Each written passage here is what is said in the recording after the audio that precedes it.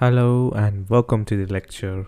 So let's start with the REST data source which is in the shared components and we'll just dive into deeply on creating it and consuming it in Oracle Apex application. So just go to here and before that I'll just go to the Postman which I have and with this sample API request which is you know free but this is on rapidapi.com there are limits for each request based on the account you've created. And this is not free but it's limited to some request number. And you have a API key which is unique to each account as well. So I'm consuming this API and going to use it in my Oracle Apex application with the intermediate that can be used is the rest data source. And I'm just copying this and rest data source it should be uh, anything. It can be an Oracle rest as well but I'm using this one. So when creating here you have the option to make it to Oracle stuffs as well. You can make it Oracle rest data sources if we are using the rest enabled that is the very advantage there. If you want to use it in a more customizing way you can use this oracle rest data services and the oracle cloud parts as well. So since we are not using the oracle part we are using the external sources. We are using the simple http and this api will fetch me the countries here and this from the covid-19 data from that and that fetches me all the countries around the world. And yeah we'll give the name as the countries as here. And we'll paste that what we have copied this one. I'll paste it here. And clicking on next if you can see that this will create a new remote server and with this base URL and the service URL part and we do need to provide the credentials because we have a API key here. So by clicking on the authentication type as the HTTP header let me copy the key one under this name and its corresponding value which I have hidden here it in the value.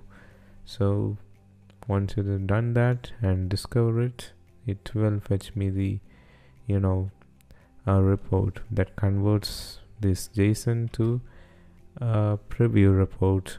If you want more detail, you can click and see the operations and you know this is the get method and the response body and the headers which we mentioned. So let's create this REST data source and it's created. So now let's consume this in our application. So let me go to the application and here this is the home page here this we have created earlier about the second page that is about the countries which we used it as a rest enabled SQL from the other database in the Oracle Cloud. So now let's use this uh, page as for the REST data source. So going on to this home page here and as you know this is only the breadcrumb region is rendered and let's create a region in the content body. And we'll give this as you know countries. And yeah. So let's uh, select uh, interactive report. We'll just display a report here. And this is the important one. We have to select the location as the rest source. So i'm selecting the rest source here. And this populates me the countries and by selecting that here you can see the columns part that is getting you know populating the columns here the name longitude latitude and the alpha codes. So let's save it and see the changes here. And as you can see that you can get the list of countries here from the other API you can get all this and this is very useful now. You can consume any data that is you know having the open apis and you can fetch the in oracle apex. And this is about get and not only that you can do other operations as well. And you can add the customization if it's uh, interactive grid or report by going to these rest data sources maybe I'll just duplicate this. And going here you can see that uh, what we created here you can see the operation the get that having this as the base pattern. You can add another operation that can be you know that can be a post method for updation and even delete method so what happens here is suppose if it's uh, you know the interactive grid if you're familiar with that if you make this as an interactive grid you will get a process here right? So that will corresponds to each DML operations. With the insert status it will send a post request.